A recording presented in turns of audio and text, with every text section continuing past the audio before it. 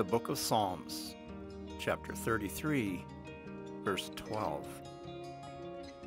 Blessed is the nation whose God is the Lord, the people he chose for his inheritance. Psalm 33, verse 12.